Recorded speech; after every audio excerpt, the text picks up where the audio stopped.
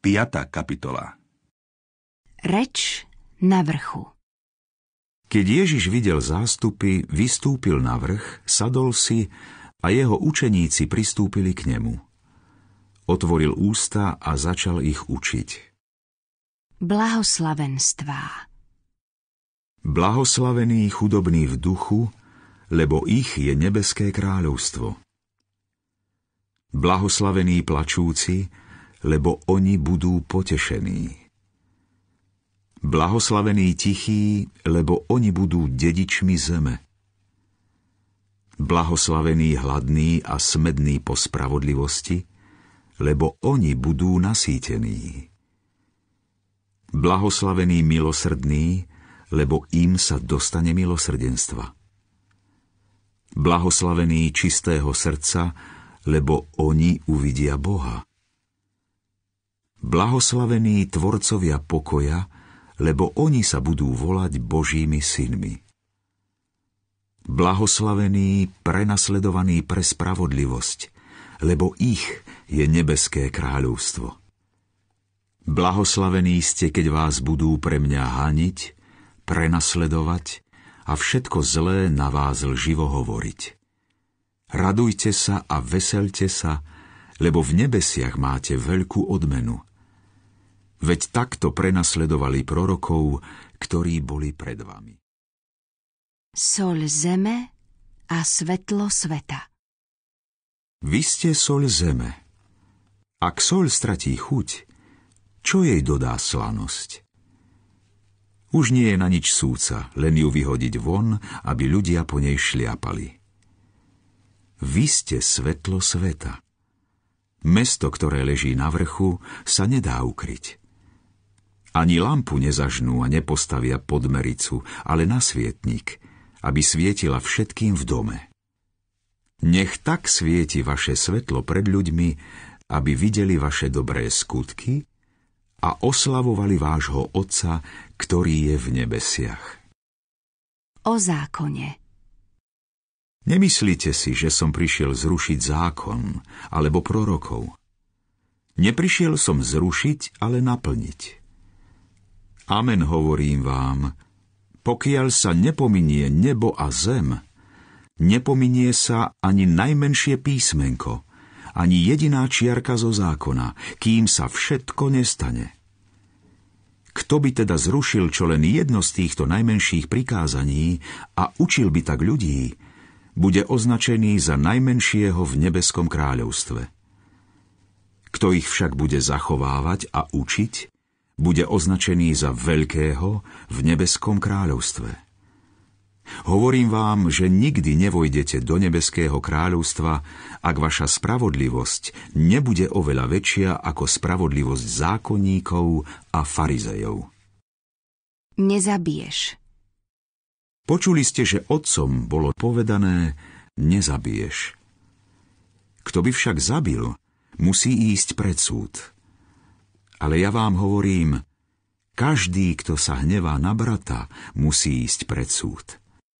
Kto by povedal bratovi, hlupák musí ísť pred veľradu.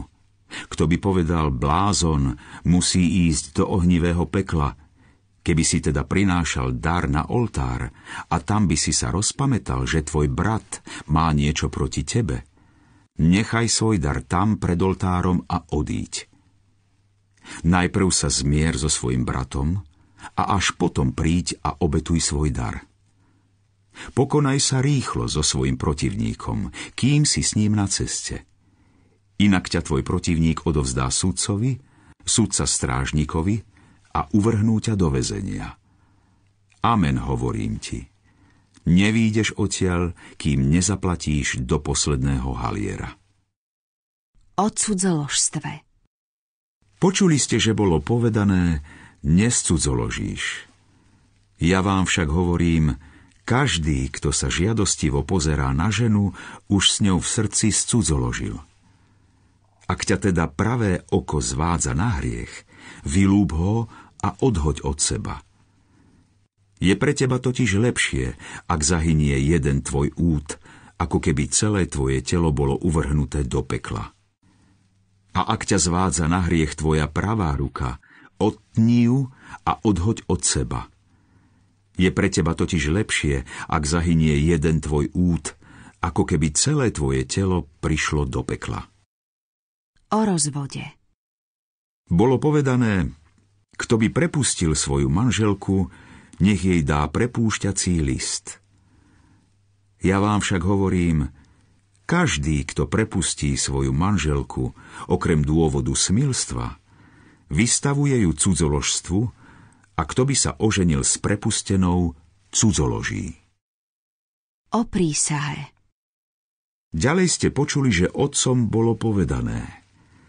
Nebudeš krivo prisahať, ale splníš pánovi svoje prísahy. Ja vám však hovorím, aby ste vôbec neprisahali.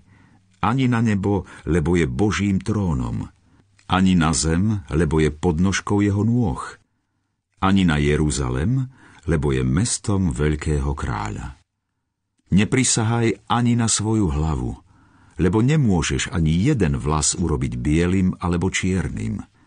Vaša reč nech je áno, áno, nie, nie.